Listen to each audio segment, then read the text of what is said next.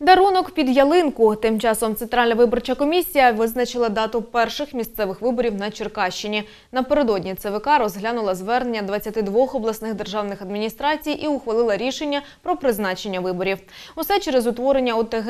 На Черкащині ті відбудуться 23 грудня у 27 об'єднаних громадах.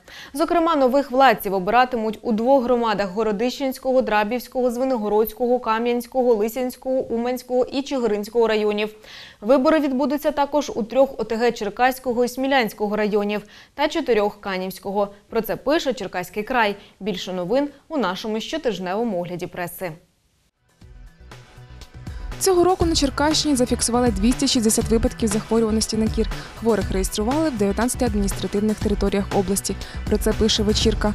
Журналісти проаналізували статистичні дані. Зазначають, найбільше випадків захворюваності на кір виявили в Жашківському районі понад півсотні, на Золотоніщині 39, у Черкасах 36, найменше лише по три у Маньківському та Уманському районах, по два у Чорнобаївському та в місті Сміла і лише один у Ватутіному. Позитив хворіли на Городищині, Корсущині, Тальнівщині і Лисянщині, також в Умані.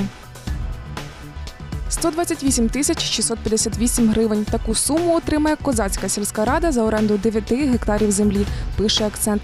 За повідомленням земельників, торги розпочались із стартової суми в 6 тисяч гривень і сягнули майже 129 тисяч. Щорічна плата за неї зросла майже на 167% від нормативної грошової оцінки землі. Нині це найвищий відсоток в Черкаській області. Місцева влада зазначає, отримані гроші витрачатимуть на розвиток інфраструктури села. Прізвище щедрого орендаря дізнатися не вдалося.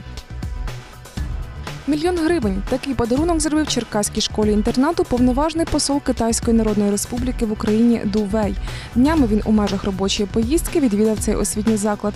Про це пише нова доба. Китай не вперше допомагає освітнім закладам Черкащини. Торік навчальний заклад отримав 14 сучасних потужних комп'ютерів з понад 200 наданих Китайською Народною Республікою для Черкаської області. Цьогоріч же Піднебесна спрямує мільйон гривень на поліпшення матеріально-технічної бази школи інтернату.